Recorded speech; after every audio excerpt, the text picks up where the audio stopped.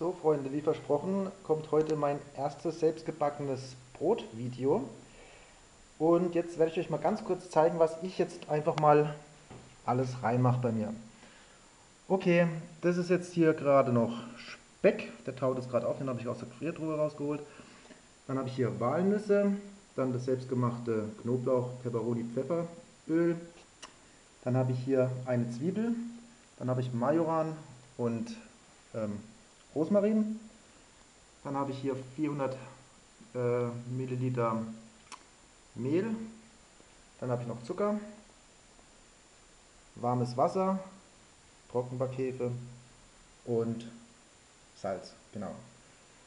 Okay, ich werde jetzt mal anfangen, die ganzen Sachen erstmal klein zu schnippeln und dann sehen wir uns gleich wieder. Bis gleich.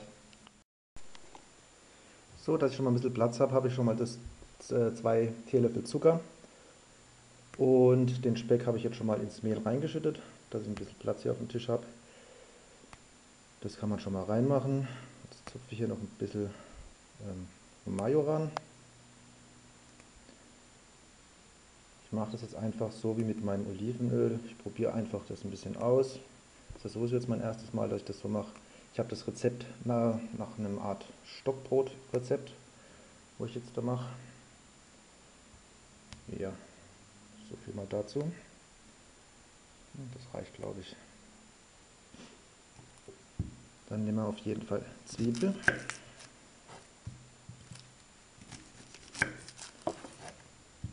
Ja, und dass euch nicht zu langweilig wird, während ich jetzt hier schneide.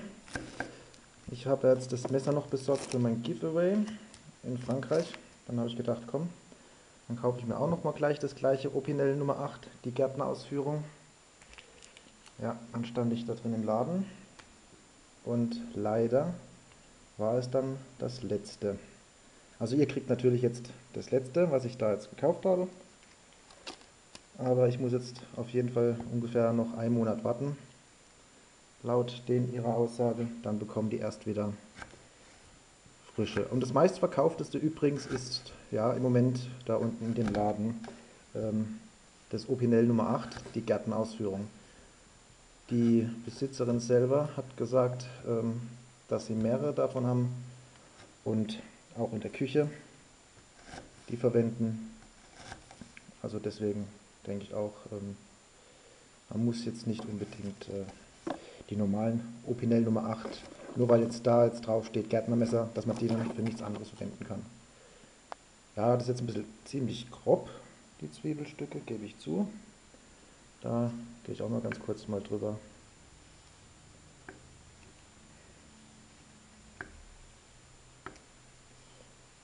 Ja. Ich würde es euch jetzt ja gerne noch zeigen, aber das mache ich nicht. Es soll jetzt hier das Brot-Video werden. Noch ein bisschen vom Rosmarin reinschneiden. Da habe ich jetzt die frischen Triebe genommen. Sind die Stängel auch für den Fall, dass ich einen Stängel mit reinkriege. Die sind noch ganz weich, das macht dann nichts. Also ich schneide das jetzt alles gar nicht so fein, aus dem einfachen Grund. Ähm, ich mache es jetzt auf eine bisschen rustikalere Art. Ich probiere es jetzt ja erstmal aus, ob es überhaupt was wird. Ich hoffe es ja. Jetzt je nachdem werde ich vielleicht dann noch das Ganze jetzt mit meinem Robo machen, aber versprechen kann ich es jetzt noch nicht. Schauen wir mal, was wird. Okay, und übrigens, echte Buschkräfter brauchen keine Nussknacker, die machen es mit den Händen. Oder auch nicht. Scheiße, die sind, von, die sind vom letzten Jahr, sind jetzt. Na? Okay, kurze Pause. Bis gleich. Ciao, ciao. So, jetzt bin ich nochmal zurück. Was für eine Blamage. Also ich habe jetzt keine Nüsse hier manipuliert, dass ihr jetzt denkt. Ne? Also ich probiere es jetzt mal so. Eigentlich lege ich die immer so, Kante, also hier Kante, auf die Kante, nehme das so in die Hand. Das mache ich auch mal, wenn ich dann draußen beim Wandern bin. Und wenn wir die Nüsse sammeln und dann... Ah ja, okay, gut. Jetzt, jetzt hat es funktioniert. Die hake ich natürlich jetzt auch noch rein. Okay, bis gleich. So, ja, jetzt habe ich endlich ein paar Nüsse noch geknackt bekommen. Jetzt mache ich die ganz kurz ein bisschen klein. Ich will jetzt die nicht, ich will jetzt die nicht zermahlen, sondern nur, ich will ja auch was schmecken und was zu beißen haben. Beinbrot. Jetzt muss ich mich nochmal entschuldigen dafür, dass ich immer noch kein Stativ habe. Aber dann hätte ich das wesentlich besser und schöner aufnehmen können. Aber ist jetzt halt mal leider nicht so. Aber ich hoffe, man kann das grob so erkennen. Gut, also, soweit bin ich jetzt fertig. Das ist jetzt alles geschnitten. Hier drin ist jetzt schon äh, der Zucker der Speck. Dann mache ich jetzt einfach mal, ja genau, die Kamera umschmeißen, das mache ich jetzt. So, alles rein. Dann kommt noch zwei Esslöffel von dem Olivenöl mit rein. Dann kommen noch 300 Milliliter warmes Wasser. Dann geht es ans Kneten und dann geht es nach draußen mit euch. Okay, bis gleich. Natürlich kommen auch ähm, noch die Trockenbackhefe. Kommt auch noch rein. So. Und ja. Jetzt kommt das Öl und das Wasser und das Kneten. Okay. So, jetzt ungefähr eine Viertelstunde später ist das dabei rausgekommen. Die sind jetzt so Handflächen groß. Man muss sehen. Ja. Habe ich zwei Stück. Wenn ihr die bloß riechen könntet. Ah, ich freue mich schon. Also ich hoffe, dass es was wird, weil die riechen sowas von klasse. Nach Speck, Zwiebeln. Ja, und dann noch mit dem Öl. Also ich kann es gar nicht beschreiben. Auf jeden Fall, es schmeckt wirklich, es schmeckt, sage ich schon. Es riecht super und ich hoffe, dass es dann genauso gut schmeckt. Ich hoffe überhaupt, dass es was wird. Okay, jetzt gehe ich mit euch raus. So Freunde, jetzt bin ich draußen. Eigentlich wollte ich ja das mit dem Hobo machen von mir mit dem Künzi, aber es ist alles bisschen jetzt länger und später geworden wie gedacht. Und daher müsste ich jetzt noch unser ganzes Holz hier, was wir für den Winter haben, noch ganz klein hacken und so. Und das reicht mir einfach von der Zeit nicht. Ich muss es nur noch nicht dann fertig machen für die Nachtschicht. Ich zeige mal kurz, das ist hier das US-Geschirr. Ähm, oh ja, da habe ich jetzt ein bisschen Öl reingemacht. Jetzt schwimmt es aber schon fast im Öl, das wollte ich eigentlich nicht. Ja, und dann mal schauen, was wird. Ich schmeiße den jetzt auch gleich unspektakulär an. Dafür habe ich hier den Brennspiritus. Dann geht es schneller. Wind haben wir. Also bis gleich. So, das Feuer brennt. In der Zwischenzeit werde ich jetzt mal mich mal kurz duschen gehen, bis dann da eine kleine Glut vorhanden ist. Und dann kommt es drauf. Okay, bis gleich. Ich glaube, so, Freunde, ich glaube, ich habe da eine kleine ja, Bockmist gebaut. Und zwar, ich habe ja zuvor das Öl reingemacht, wie man sehen kann. Und das ist nicht an, also unten anbett der Teig. Jetzt fasse ich ihn aber an, jetzt hat er schon wieder die Konsistenz so, hm, ja, das saugt alles auf. Und ich habe halt nicht gewusst, dass das jetzt so lange dauert, bis das mit dem, ja, mit dem Feuer, mit der Kohle. Und jetzt hat es, wie es aussieht, das Ganze aufgesaugt. Das sieht so aus, das sah ein bisschen komisch aus. Naja, ich werde es trotzdem machen. Aus Fehlern lernt man und äh, beim nächsten Mal weiß ich dann Bescheid, wie ich das mache. Ich habe noch einen zweiten Teig. Ob das von der Zeit ist heute hinhaut, dass ich den noch dann reinmache. Wir werden sehen. Okay, bis dann.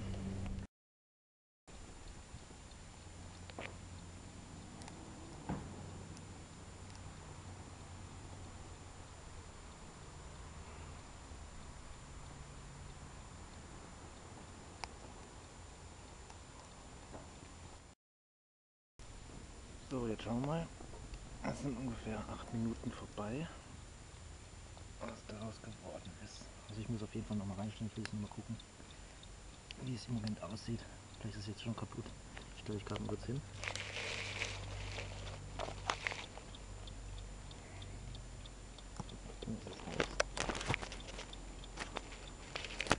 Ah, okay, gut. Ich glaube, unten ist es angebrannt. Aber innen drin ist es auch noch ganz flüssig. Okay. Dauert noch ein bisschen. So, schauen wir mal, wie weit es jetzt ist. Sieht eigentlich noch ganz gut aus. Das Öl ist fast weg. Noch ein paar Minuten, denke ich, und dann schauen wir mal. Also wie Brot sieht es noch nicht aus. Das waren jetzt bestimmt schon 20 Minuten. Ich habe extra so eine Eieruhr draußen, weil ich keine Uhr trage. Dann stelle ich nochmal auf 5 Minuten. Die Seite ist. Ich stich gerade mal rein. Die scheint gut zu sein, aber hier noch nicht. Ja, schauen wir mal, wie ich das jetzt am besten mache. Ich es noch auf die andere Seite, wo es heißer ist, hinstellen. Schauen wir mal, bis gleich. Freunde, jetzt bin ich mit euch reingegangen, weil draußen die ganze Nachbarschaft rumsitzt und die jetzt schon die ganze Zeit blöd geschaut haben, weil ich immer mit mir irgendwie selber geschwätzt habe, anstatt dass die halt gesehen haben, dass ich eine Kamera in der Hand habe. Ich muss gleich vorab sagen, ähm, das ist jetzt nichts, glaube ich, so geworden.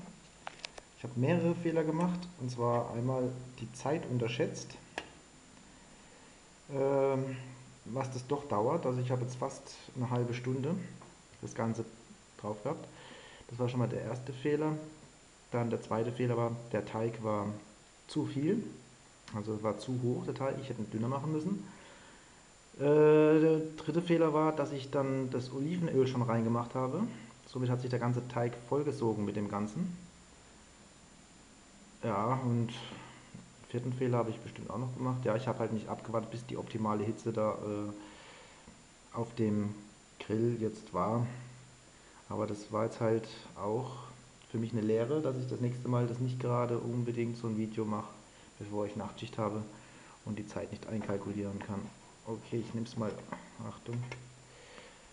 Äh, ich mache mal kurz aus. Ich hole noch ein anderes Brett, weil das ist hier oben auch alles ziemlich heiß, sonst verbrenne ich hier noch einen ganzen Tisch. So, ein Topflappen macht das bestimmt auch.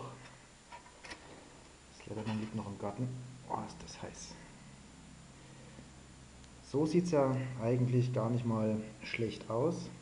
Wie ihr vielleicht Wochen gesehen habt, wo ich den, zum ersten Mal den Deckel abgehoben habe, ist das zusammengefallen hier wie so ein Kuchen. Jetzt schaue ich auch mal, ob es überhaupt rauskommt. Will. Ich stelle euch mal hier hin.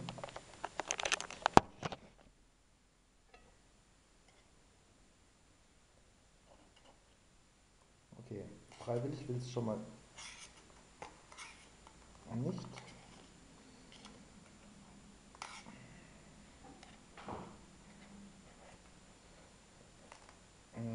Also irgendwie ja, hier ist es ziemlich gut schwarz. Schneide es mal in der Mitte durch.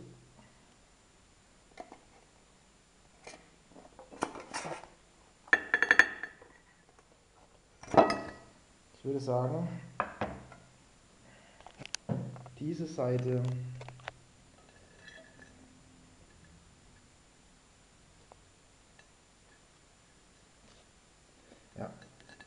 Glück an die, die ein Stativ haben.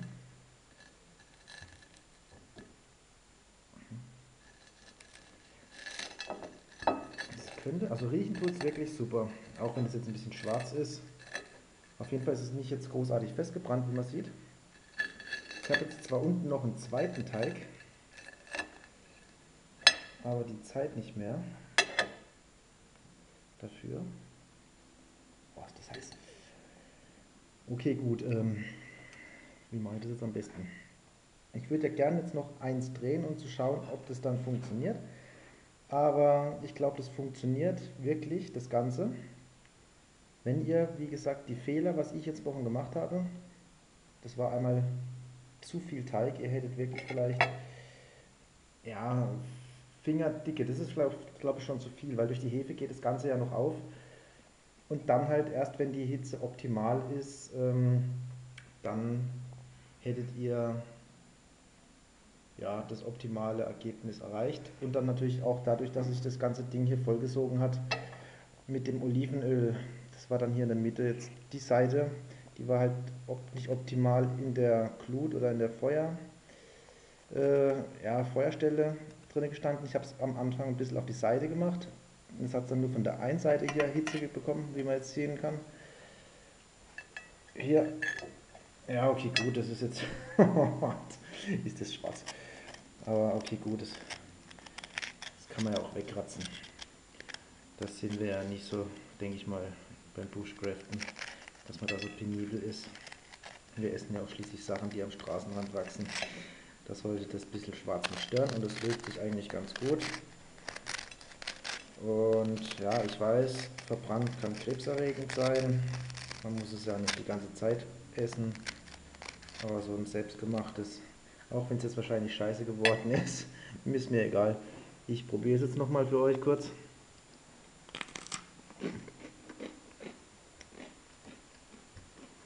Also ich kann sagen, bis ich jetzt das Schwarze da unten jetzt abgeknabbert habe, schmeckt super.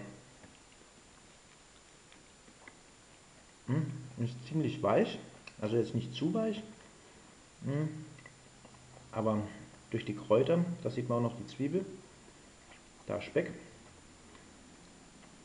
Doch, also fürs erste Mal, da werde ich jetzt doch kein zweites machen. Jetzt weiß ich, wo die Fehler liegen. Ich habe oder hoffe mal, dass es euch ein bisschen gefällt. In diesem Sinne, ich verabschiede mich jetzt in die Nachtschicht. Ich wünsche euch noch einen schönen Abend, ein schönes Wochenende. Ja, jetzt war gerade der Akku leer. Jetzt habe ich gerade noch zwei Sachen, äh, was heißt Akku leer? Der Speicher war voll. Jetzt habe ich gerade noch schnell zwei Sachen gelöscht, dass ich euch ordentlich Tschüss sagen kann. Also ich sage jetzt mal Tschüss. Und ähm, ja, wir sehen uns auf YouTube wieder. Übrigens geschnitten hier mit dem Messer von Fuwa Falls Films HD.